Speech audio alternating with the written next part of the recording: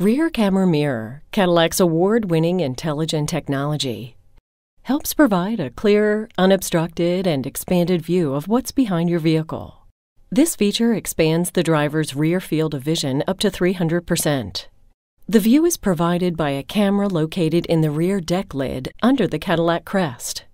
The camera feeds into the rear view mirror, displaying a wide angle HD view of the area behind the vehicle. To activate Rear Camera Mirror, you pull the tab at the bottom of the mirror. Push the tab back to return to a normal view. To adjust the mirror's brightness, press the button on the back of the mirror without covering the light sensor.